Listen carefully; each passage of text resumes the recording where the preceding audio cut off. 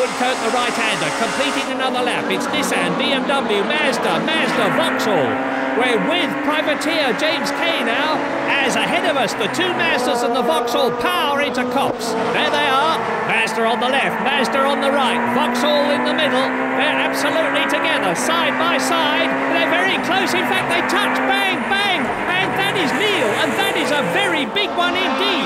Roll, roll, roll again, all the way down the straight. Oh, and at Woodcote it's all action for fifth. Watts, Hoy, Cleland O'Dore together. Winning car with Cleland, seventh place, chasing Hoy and Watts down to Copse Corner.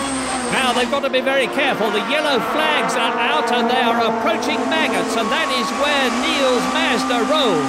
So there is Hoy ahead. Cleland closes up on it. The brake lights come on, and there's the Mazda as they go into Beckett's. The yellow flags, that means no passing. There's the reason. That's the Mazda of Matthew Neal, and surely they're going to have to stop the race. Well, this is Radisich, and he's lit up his tyres, he's going off. He must have hit some debris. Well, onto the infield, he's keeping going.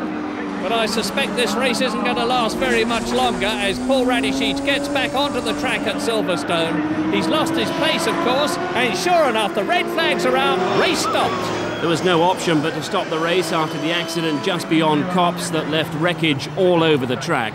Chris Goodwin, the man sandwiched between the two Mazdas of Leslie on the left and Matt Neal on the right. A lot of contact until that final touch launches Neal into a series of rolls. Six times the Mazda rolls in all, but the driver well strapped in, well protected, survives shaken but unscathed and it was some of the resulting debris that was collected by Paul Radisich which led to his subsequent puncture.